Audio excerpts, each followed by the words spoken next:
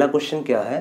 साधारण नमक का रासायनिक सूत्र। यहाँ पे चार ऑप्शन है। चार ऑप्शन में से आपको जो सही है, उसको टिक करना है।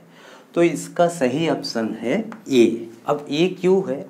क्योंकि साधारण नमक का जो रासायनिक नाम क्या होता है? सोडियम क्लोराइड तो सोडियम मतलब क्या होगा? एन और क्लोराइड मतलब सी अब इसकी बैलेंसी बोलिए, चाहे चार्ज कितना होता है?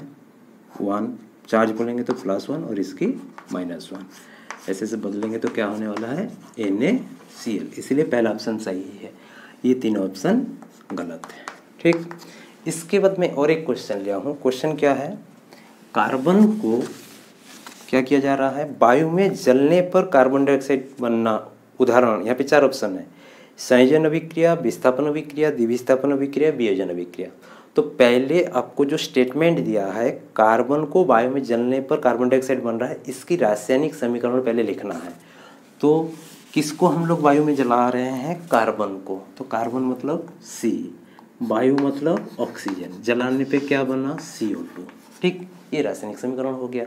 अब ये किसकी उदाहरण है आपको? पहले बोल रहा है संयोजन अभिक्रिया। तो संयोजन अभिक्रिया क्या होता है?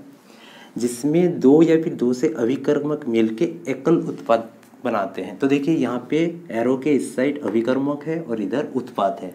यहाँ पे देखिए, दो अभिकर्मक मिलके कितने उत्पाद बनाए? एक इसीलिए ये कौन सा अभिक्रिया होगा? संयोजन अभिक्रिया। तो पहला ऑप्शन संयोजन अभिक्रिया पूछा था, उसी को टिक कर देना है।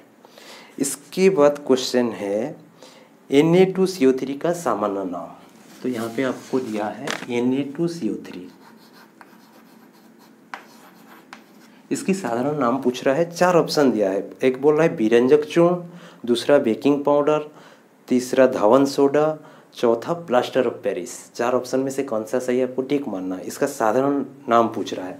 N A two C three की रासायनिक नाम क्या है? सोडियम कार्बोनेट इसका नाम क्या होगा? सोडियम कार्बोनेट लेकिन इसकी साधारण नाम पूछ रहा है तो इसका नाम साधारण क्या होता है? धावन सोडा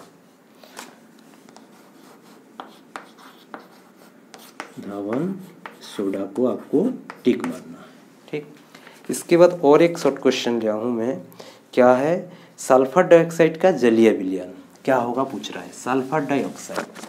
तो सल्फ़र डाइऑक्साइड मतलब टू उसकी जलीय विलयन मतलब एच टू तो ये क्या बना देगा आपका? एच टू एसओ फोर तो एच टू एसओ फोर क्या है? एसिड या फिर अम्लीय होता है। तो यहाँ पे ऑप्शन दिया है अम्लीय क्षारीय उदासीन उपधर्मी तो आपको किसको टिक करना है?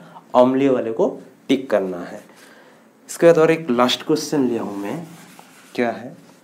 एक बिलियन का पीएच मान फाइव है। पीएच मान जो है फाइव कितना है?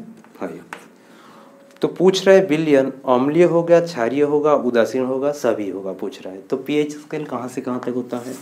पीएच स्केल आपका सेवन जो होता है, उदासीन होते हैं। सेवन से इधर ज़ीरो होते हैं और यहाँ पे फोर्टीन तो ज़ीरो और सेवन के बीच में फाइव आता है। तो ज़ीरो से सेवन के बीच में क्या होता है? एसिड होते हैं मतलब अम्ल होते हैं और ये होता है बेस मतलब क्षार। तो पीएच मान फाइव बोल रहा है तो ये क्या होने वाला है? अम्लीय। तो आपको अम्लीय में टिक मार देना है।